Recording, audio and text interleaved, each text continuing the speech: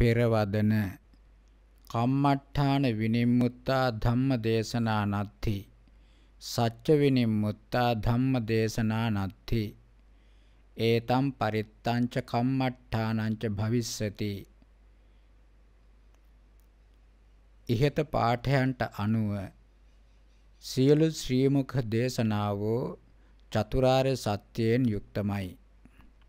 තවදේ සියලු බුද්ධ වචන කර්මස්ථානමයි. පිරිත් නොවන කිසිදු බුද්ධ වචනයක්ද නොමැත්තේය.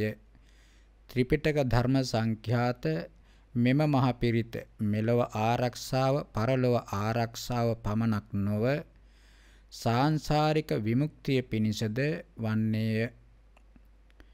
විමුක්ති මගට කමටහන්ද වන්නේමය.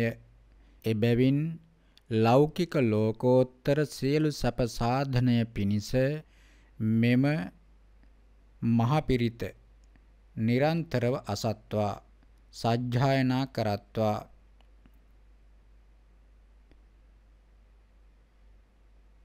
සත්පුරුෂයනි. නිවන් රසයෙන් ඒක රස වූ නවාංගයකින් හා 84 දහසක් ධර්මස්කන්ධයන්ගෙන් යුක්ත වූ මේ ත්‍රිපිටක සද්ධර්මය නම් පරම දුර්ලභය. එහෙයින් මේ ධර්මය සියලු සත්පුරුෂයන්ටම ප්‍රකට වනසේ ඔසවා තබත්වා. සවන මුඛේන ව්‍යංජනසෝ අත්තසෝච්ච උපධාරණං උග්ගන්හන්ති ආහ. තුන්හි බුහතෝ නිසීදිත්වා සුනන්තෝ උග්ගන්හාති නාමාති. වාචොග්ගත කරනම් පරියාපුනන්ති ආහ. වාචාය සජ්ජායන් කරොන්තෝ පරියාපුනන්ති නාමාති.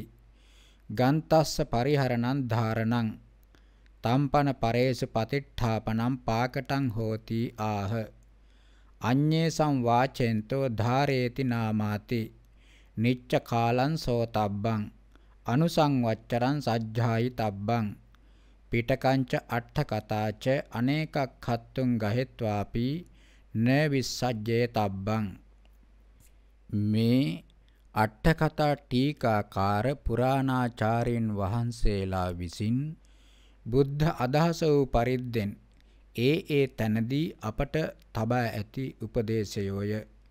එහෙයින් මෙකල ලොව සිටින ගිහි පැවිදි සියලු සත්පුරුෂයන් විසින් තම තමාගේ ශාසනික මෙහෙවරට උත්සුක විය යුත්තෝය. නොතේරෙන pāli භාෂාවෙන් ඇසීම සජ්ජායනා කිරීම ප්‍රයෝජනයක් වේද. මෙය මෙකල ඇතමුන් විසින් උපදවන ලද මිත්‍යා මතයකි.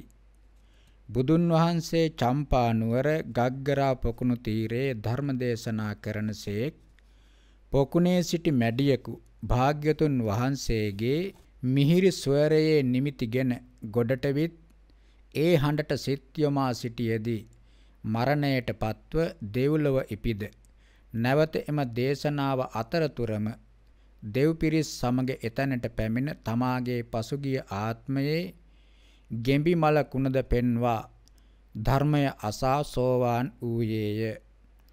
ඒ අහේතුක ප්‍රතිසන්ධික තිරිසන්ගත මැඩියා pāli භාෂාව තබා කිසිදු බසක් නොදන්නේය.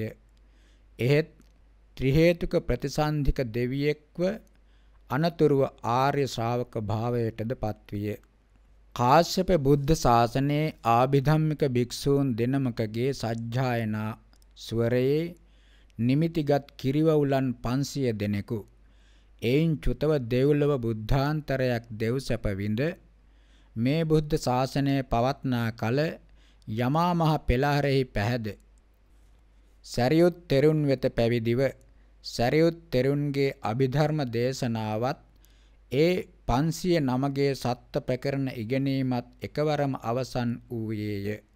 මේ බුද්ධ ශාසනයේ මේ මනුලොව සරියුත් තෙරුන්ට පසු ප්‍රථම ආභිධර්මික පිරිස වූයේ එම තෙරවරු පිරිසය. තවද සතිපට්ඨාන දේශනාවට කන් යොමා සිට ගැරඬියෙකු දෙවි සැපයටපත් වූ කතාවද මෙහෙණන් සමීපයේ සිට අට්ටික සංඥාව සිත සිතා සිටි ගිරා පෝතකයා ලැබූ අට්ටික සංඥාගත සතියද සිහි කරනු වටී.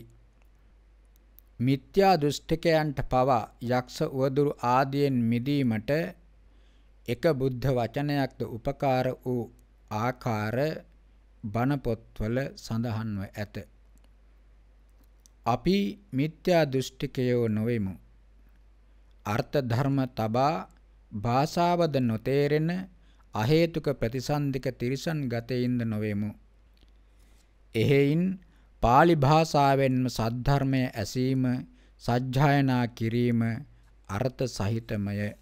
මේ pāli භාෂාවෙන් ධර්ම ශ්‍රවණ හුරුව අපට අනාගතයේදී ධර්මාවබෝධයට පැමිණීම පිණිස උපනිශ්‍රේ සම්පත් වන්නේමය.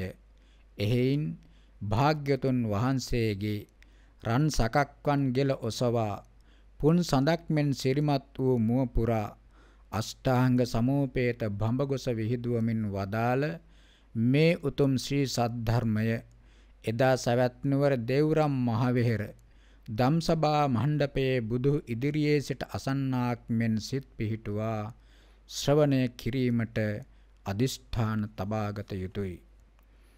තවද අපගේ ප්‍රමාද ස්මෘති විප්‍රවාසාදියෙන් වූ යම් ඌනාතිරේකයක් වතොත් ඒ අපගේ වරදමය. ඒ දක්නා පණ්ඩිත සත්පුරුෂයෝ ඉවසා වදාරා. මතු පිරිපුන් නිදොස් කරණයෙහි අනුකූල වෙත්වා. පිරිසුදු උතුම් සම්බුද්ධ වරධර්ම චක්‍රය නබෝ ගැබ මැද්දේහි දෙව් මිනිස් විනේය ජනයන්ට ප්‍රකට වනසේ নিরතුරුවම ඔසවා තබත්වා. අපගේ මේ සද්වෑයම මමත් ඔබත් ඇතුළු සියලු සත්පුරුෂයන් විඳිනා වූ මේ සංසාර දුක්ඛයෙන් එතර කරවා නිර්වාණ ශේමයේ පිහිටුවීම පිණිසමයි. තවද විනය සූත්‍ර අභිධර්ම යන තුන් ආකාරයෙන් යුතු මේ ත්‍රිපිටක සද්ධර්මය අපගේ පහසු පරිදි පළමුව අභිධර්ම පිටකයේ සජ්ජායනා කොට දෙවනුව විනය පිටකයත් තෙවනුව සූත්‍ර පිටකයටත් බැස ගැනීමට අපගේ පුජ්‍යලික රුචිය වූ පරිද්දෙන් අපි පියවර ගත්තෙමු. මේ සම්පූර්ණ වූ කලෙක ඔබට පහසු තැනකින් පහසු ධර්මපරියායක් අසා සජ්ජායනා කරමින් ජීවිතයට එකතු කරගත හැකි වන්නේය. තෙරුවන් සරණයි